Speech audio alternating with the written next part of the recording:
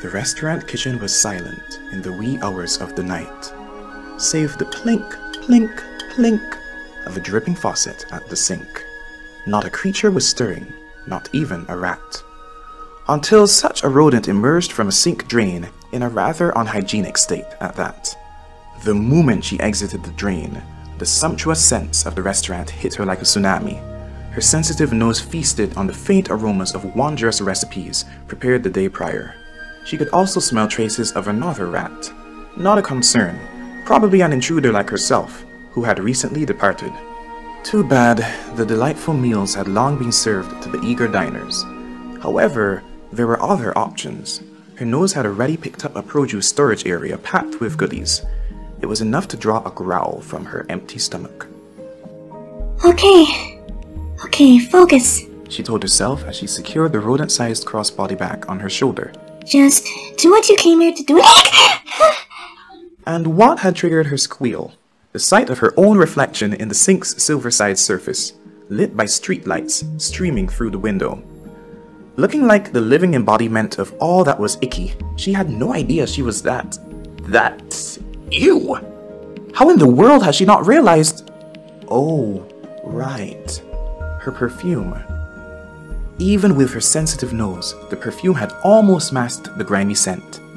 In fact, this perfume could override the most unpleasant odors. It was one of her secret recipes, and she was very proud of it. The only ways to get it off were a chemical cancelling agent and lots and lots of time.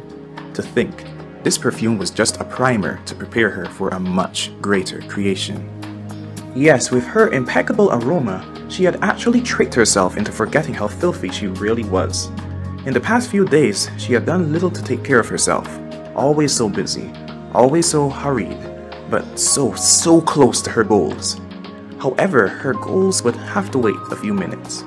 If she remained in this state much longer, she would be morally obligated to throw herself into the trash.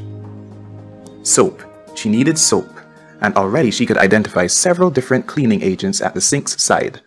Such variety! Clearly, this was no ordinary kitchen. Some of the soaps were almost lavish. Forget the dishes. They would disinfect a dirty rat like her and double as excellent shampoos and conditioners for her fur, if combined to the right proportions. She leaped onto the edge of the sink and pulled herself to the top before grabbing the stopper and heading back down to plug the drain.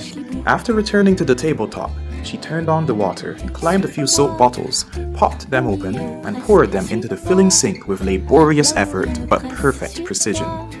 Upon attaining the right combination of soaps and water, she dove into the basin, marinated a little, and rinsed to her heart's content. After her bubble bath, she sprang out of the basin, gave a quick shake, and got to work. Once she somehow got a pot onto a burner, easier said than done, she began the long process of filling it with water cup by cup. However, she found creative ways to make the job much quicker and easier than it could have been. After about 10 minutes, the pot was full, and she switched on the stove until it simmered. Standing above it on an overlooking shelf, she reached into her crossbody bag and pulled out a transparent orb filled with multicolored liquid. Once she dropped it into the pot, she waited. But absolutely nothing happened. Huh. She commented. I guess I had the wrong. Suddenly, a blast of colorful fumes erupted from the pot, causing her to jump back and laugh with delight. Now we're talking! She cheered. Her ears twitched in response to a sound. What was that? A gasp? Her eyes darted about to ascertain the source of the sound, but there was nothing there. She began to second guess her hearing, but at the back of her mind there was still that scent of another rat. It was much less musty than that of any other rat she'd smelled. That rat couldn't still be in the room, right? His scent was just simply too mild. Shaking the concerns from her head, she scurried across the shelf, stopping when she caught sight of her reflection in a piece of silverware. Oh, hello! She said to her reflection. I haven't seen you under that filthy fluff for days. Still rocking that weird red fur I see. That's, well, I can't say it's great, so I'm just gonna say weird because it is what it is. Anywho, after tonight, I'll actually have a life and I won't need to keep talking to you as if I'm suffering from multiple personality disorder. Super, right? Much to her shock, her reflection answered back.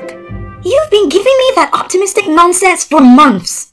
You'd better get the formula right this time, otherwise you're gonna keep crawling back to me for company. Get a grip. You are talking to your reflection.